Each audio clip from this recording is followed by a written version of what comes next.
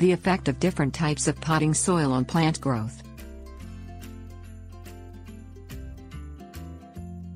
Potting soil provides the nutrients and minerals that a plant needs for proper growth.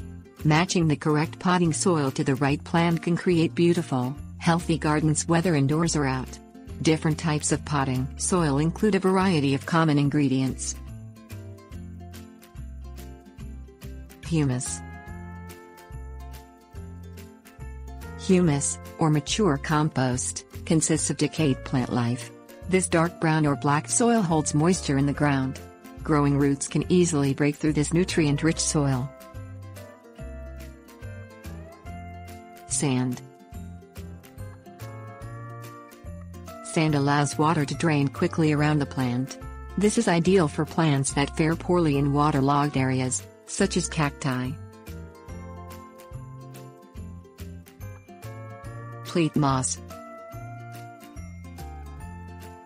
Peat moss retains moisture for water-loving plants that require moist roots in a flexible potting soil that easily gives when roots push.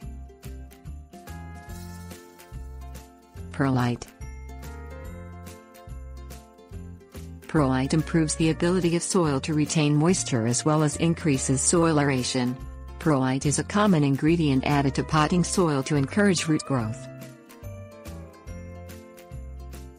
Limestone Limestone regulates the pH of potting soil to create an ideal mix for plants that prefer acidic soil, such as azaleas and rhododendrons.